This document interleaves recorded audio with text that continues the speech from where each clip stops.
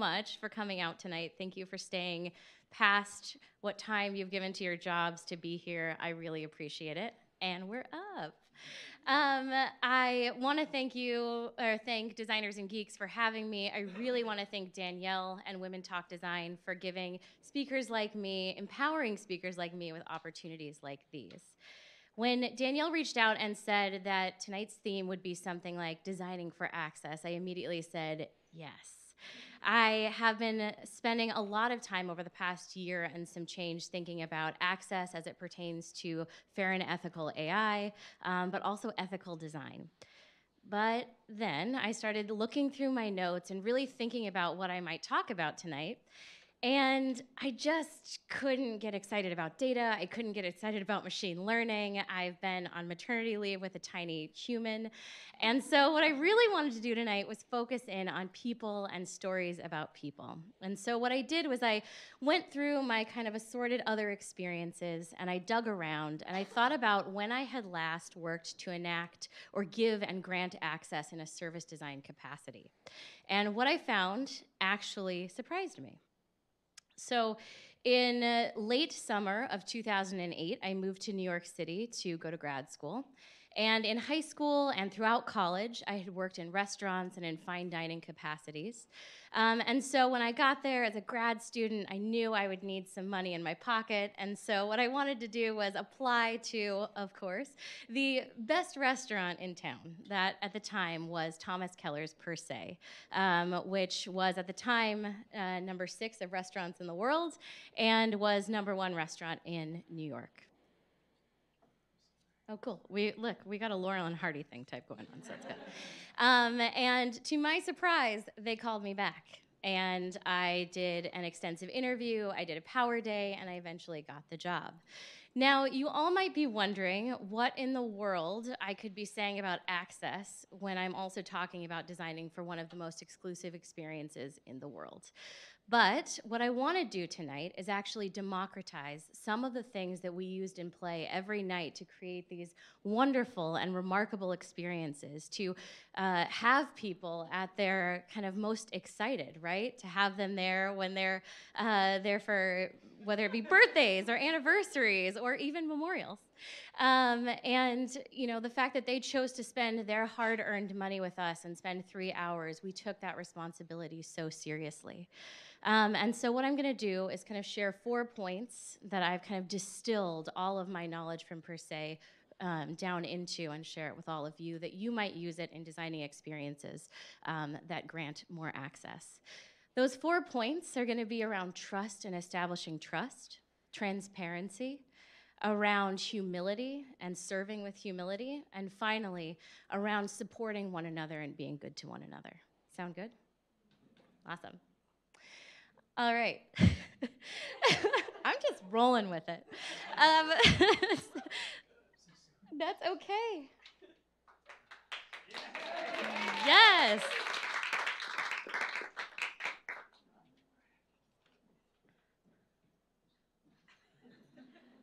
Here's the part where I'm just out of material. No, I'm just kidding. um, so the picture that we'll show behind me at some point or another um, is the actual dining room at Per Se. Um, this first point around trust, I'm going to anchor, and I'm going to say is anchored in two things and engendering trust in your users or your guests or your customers. We did this in two very fundamental ways at Per Se. One is personalization, and I'd say that personalization ties and has a lot of tie into equity and building equity, making sure that people get what they need. And then also, we found these profound moments of trust building. So, not just there's many moments and opportunities for you to engender trust with your users or customers or guests, but we found the really, we found and optimized for the most profound. So, the first story I'll tell is actually one where I'm going to set the scene of what it's like to actually eat it per se. So, first of all, there's only 16 tables. That's it. There's two seatings a night, one at 5:30 and one at 9:30. And when you walk in, if you're a first-time guest, we will welcome you as a new friend or family member. If you're somebody who's dined with us before, there's a high likelihood that we meet you at that door and we welcome you by saying your first name, by welcoming you in, by remembering something about you from the last time you were with us, even if that was years before. Once you get to your table, especially if you're a repeat customer, if you're a friend or family member of the staff, if you are a member of the industry, you've never been in before, but you work in the restaurant business, you'll arrive to your table to a handwritten note from Chef Keller himself or the chef de cuisine that says, Thank you so much for choosing to spend your time with us. Then the captain um, of your table will come over. He or she will greet you, will walk you through how the evening is going to go, will take your drink order, and of course, will go through the entire menu with you. Now, this is the part that's really special. This is the part where your menu arrives at the table. It's not just there when you arrive, it doesn't come out in the first couple of seconds. Minutes into the experience, your personalized menu arrives. If you're there celebrating a special occasion, guess what's printed at the top of the menu? Happy birthday. We're so excited that you're here with us. Um, a little bit of a note. Um, as somebody who is a host, my favorite thing to do would be we'd be escorting a group to the table, and I'd hear somebody mention that it was somebody's birthday, but we didn't necessarily know that in advance. It was my job to, as gracefully as possible, escort people to the table, wish them a great evening, as gracefully as possible, uh, find my way to the service pathways. And then, of course, the panic began where I said, It's Margie's 80th birthday and we need to print a menu by the time it is time for her to receive it. And we would do that. Um, these wonderful kind of personalized experiences meant that people knew that they were choosing wisely. They were placing their trust with us, and we were there making sure at every turn that they got what they needed, even down to what was on their menu. If in advance you'd told us you had a dietary restriction or food allergy, you didn't see what you couldn't or didn't want to eat on your menu. We'd already made substitutions for you for each individualized guest, and your captain would walk the entire table through what you'd receive. Second, that kind of bit about trust, right? And kind of finding those profound moments of trust. Of course, we had opportunities throughout the booking experience as you walked in to engender trust. But one night, um, or I guess I'll back up and say, right at about this vantage point, as you were entering the dining room, all of the available staff would kind of size up what size of table was coming in to be seated. And the exact amount of staff would meet each and every guest at their own chair and in a one to one ratio would help guests into their seat. And on my way back to the hostess stand one night, my director of operations, Raj, said to me, Do you know how important that orchestration is? And I shrugged. I was like, It's a cool, grand thing that we do. we help people into their chairs. And he said, No, that's the first physical interaction of these guests with our hospitality. It's the first moment where a guest says, I am going to sit now. Will you catch me if I fall? And we say, Don't worry, we've got you. Come be here a while. It's a mini trust fall. That for me was so important. It gives me goosebumps even now thinking about it. We have all these moments where, of course, we were building trust, but that one was so important. So, the second key I'll point out is that of transparency.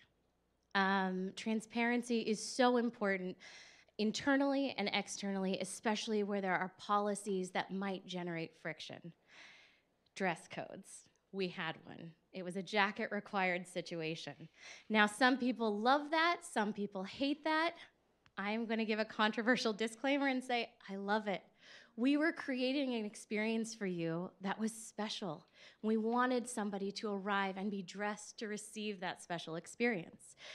Now, if somebody arrived and they didn't have a jacket, what we would do at the very front is we would take your, your coat, generally, especially in winter and spring. We'd take your large coat and we'd put it in the coat uh, room, and then we would come back with a best guesstimate of size on a jacket that we had in our store of jackets, and we would seamlessly offer them. Now, some people would take the jacket, some people would immediately refuse, some people would put the jacket on, take it off at the table. We didn't really care. What was important is that we as a staff were bonded in our decision to enforce that policy. Enforce is such a charged word, but to um, aspire every guest to meet that policy. And ultimately, that was what we were bonded in. Now, I think transparency is an important point to circle on here. I find that a lot of my really wonderful and talented friends are currently at companies where the policies might be causing friction with users, right? Um, whether that be because there are ethical concerns with their platforms, et cetera. I think I've heard in the design community that there are some people who say, then just quit your job and walk away. Not all of us have that privilege. And so, what I say then is, how might you have more transparency with one another internally to discuss those policies?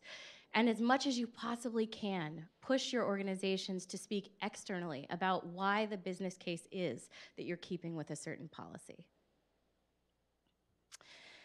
I love the intensity in this picture. This is pretty much the intensity of every night of every staff member at Per Se. Um, I will say that kind of this point here is actually around the humility that I think is actually captured in this photo. Uh, humility is so key to enacting experiences and making sure that there's a path to access. And I say that because at Per Se, what we were doing is we were effectively translating where we were kind of customer facing job roles, right? We were translating high art, which is what the food looked like, all the way down into really enjoyable, savorable morsels, things that really connected with people on a human level. One of Thomas Keller's most famous dishes is a thing called coffee and donuts because he loves and just resonated with him coffee and donuts as a child and wanted to bring that into this high art form. And so I must say that we must all kind of strive for that humility and that humbleness. Um, each and every night at Per Se, before we would open the doors, we would have some of the toughest meetings of my life where the chef would go through it didn't matter if you were a host if you were a sommelier or if you were a captain and he would painstakingly go through every single menu item and ask one of us pop quiz style what a thing was and to explain it it was the it was the on the weight on all of our shoulders to participate in that. And i think that humility that learning disposition so that when we heard a guest inevitably say what's a seckel pear? we could say oh, it's a tiny little pear that nancy and tom grow in upstate new york and we've chosen them because of the sugar content and they're paired in this dish in this way translating again that high art into something that was really approachable, really exciting, um, and really kind of granting them access to that experience. The final point I'll make is one about support. And this is the support that was entirely backstage. It was the support that we generated internally, and I think it's so important uh, to the way to the work that we all do today. Um, we used to engage in a thing called family and staff meal. And I don't know how many of you have heard this before, but it is true. The way that people really connect with one another, the best way to engender trust amongst a group of people working together is to just simply break bread, to eat a meal. And so every night we had that routine. We ate well. We didn't just eat cheese sandwiches. I've worked at a catering job that did just that. Um, we ate decadently. We ate well. We broke bread together. There, that meant even blood sugar. That meant revelry. That meant inside jokes. That meant that we could all kind of suit up for battle to do a very hard thing every night.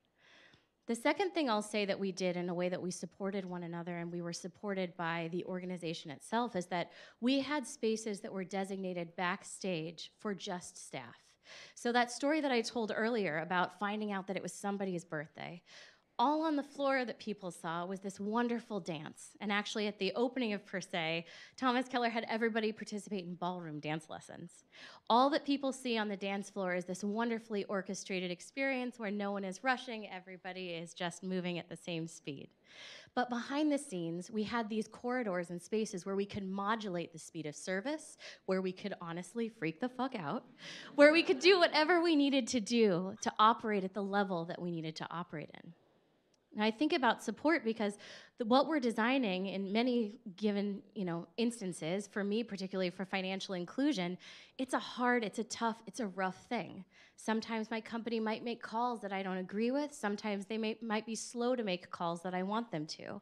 Having these moments of breaking bread with my team, of knowing that we're in this together, of having moments where we have kind of design jams or private spaces for one another um, so that we can dig into this before we kind of start to uh, develop front stage or kind of customer facing experiences is really important to me. So I'll end on this note and say that humanity is at a really interesting inflection point right now with technology. And we can either choose at this point to redesign the world as we know it, Or what we can do is we can start to articulate more bold, more interesting, uh, newer, better, more equitable futures. And I believe that trust, that humility, that transparency, and that supporting one another is key and foundational to all of that. Trust endears our customers to us, it endears us to one another.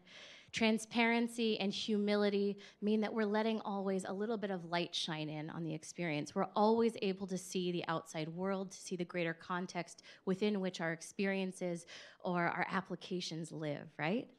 And finally, being good to one another is always a good idea because if we're good to one another, we can do great things together. Thank you.